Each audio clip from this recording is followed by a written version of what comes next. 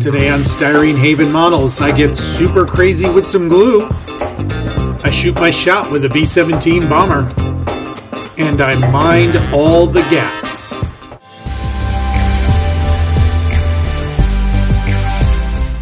Part of the challenge of building scale models is to get a smooth and even surface by filling in all the gaps and seams so that you can have as close to a flawless finish as possible when the model is completely painted.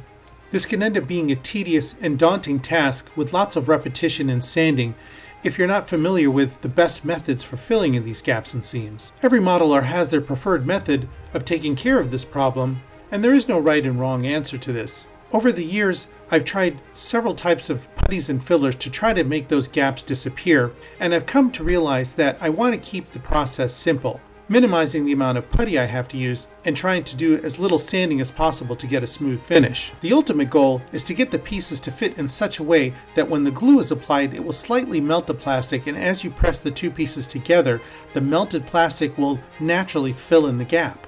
But as all modelers know, even with new tool kits, this is not always the case. The first step in filling gaps and seams is to identify where those gaps are going to be. In the previous video of the series, I took this B17 and primed it, making it very easy to spot all the places that I'm going to need to pay attention to. When it comes to hairline seams and gaps that are under 1mm in width, my go-to filler is superglue or any type of CA cyanoacrylate glue. I always keep two viscosities nearby, a thin CA and a gel gap filling CA glue. Thin CA glue flows nicely through capillary action into hairline seams. It dries relatively quickly and dries very flat to the surface. It can be sanded easily and even polished if necessary. Gap filling gels have a long working time and can be manipulated into larger gaps and even built upon if you're trying to fill in a larger, deeper gap. You can use anything as a palette to hold the glue and all I've done to apply the glue is make a simple tool using a bamboo stick and wire wrapped around so I can use it as a dropper. You can use the wire straight or even create a loop in it if you need to hold more glue. As glue builds up on the wire and dries, you can take a simple pair of pliers to crush the glue and remove it, giving you a clean tool again. Once the glues have been applied and fully cured, I can start sanding them. Typically I start with a 400 grit sanding stick and work my way through 600, 800, and if I need a higher polish, we'll even go to 1000 and 2000 polishing sticks. In order to make sure I wasn't going to create any flat spots on the fuselage, I was using the sanding sticks and trying to follow the curvature of the fuselage as I was sanding the superglue down. There is black colored CA glue out there, but as I'm using glue that's clear, it is difficult to identify if the glue has completely filled in the gap after the sanding process. A simple way to see the quality of your work after sanding is to simply take a little bit of silver paint and brush it over the gap it will almost immediately identify if the gap has been completely filled and if your sanding has produced a smooth surface.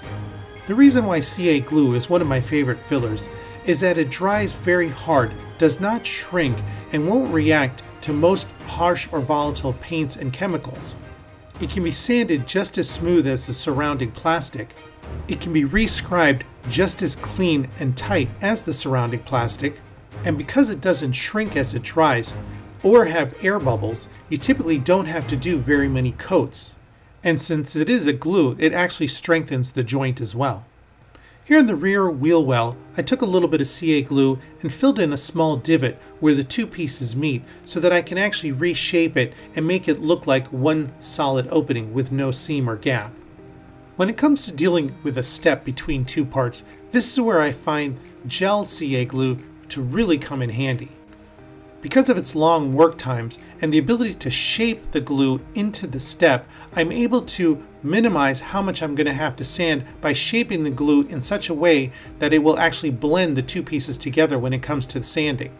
I've heard other modelers say that CA glue can be difficult to sand, especially if it's been left for days or weeks after it's fully cured, but I don't find that to be the case. When filling the gaps on this B17, there were days and even over a week before I was able to get to sanding many of the areas that I had glued over, and I had no difficulty sanding any of those areas. For gaps over 1 millimeter, if I can't reshape and sand the parts to create a tighter fit, then I try to fill the gap with styrene plastic first I found that by trying to fill larger gaps in with gels, putties, and glues, I tend to run into shrinkage issues. Having to either apply the gels, glues, and putties in multiple coats, creating a lot of air bubbles, and some of the more volatile paints that I'm going to use can actually react with the gels and putties, which will make the seam or gap reappear or worse yet, crack. Once I've cut the styrene strip to the proper length, I go ahead and just shape it a little bit using my fingers to get the curvature correctly so that it will contour with the wing itself. Then it's just a matter of applying some Tamiya extra thin on both surfaces, mating the two parts together and making sure that it's flush with the surface of the wing and shaping the plastic strip to match the curvature of the wing. My second filler of choice is Perfect Plastic Putty. This is a water-based putty that can be applied directly from the tube and once dry can be re-wetted with a damp cotton bud and then shaped and pressed into the gap further and smoothed out while it is still slightly wet.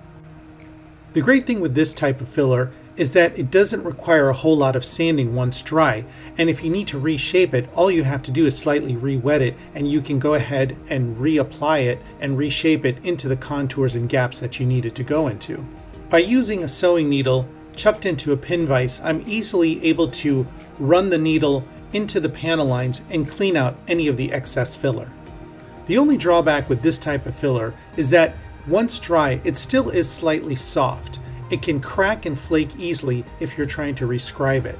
So my solution is simply to apply some CA glue, either thin or gel style, over the perfect plastic putty, giving it a surface that is sandable and rescribable. This is a great two-step method filling the majority of the gap with perfect plastic putty, shaping it and allowing it to dry and fill into the gap, and then applying a CA glue over it to give it a surface that is sandable and scribable. Coming back to the B17, now that I feel confident that all the seams and gaps have been taken care of, I'm ready to reapply some of the paint that I've lost from the sanding process and then apply another coat of primer to check my work. As in my previous video, I go ahead and apply Stynylrez Primer over the entire model, giving it several light coats and drying the coats in between so that I can shorten the dry time and be able to flip the model on all the different sizes that need to be coated. Once I can handle the model again, I go ahead and give it a quick reinspection noting a few places where I may have to reapply some more CA glue to fill in some minor gaps and seams that didn't get completely filled in on the first pass. So things are getting a little bit more exciting now. I'm just about ready to apply the black base so that I can get this model prepped for a natural metal finish. Be sure to check the description for links of all the products that I've used in this video, and like and subscribe so that you'll be immediately updated when I post the new video of painting the black base on this model and getting the first coats of natural metal finish on it. Leave a comment below and let me know what you thought of my gap filling process. And thanks for watching.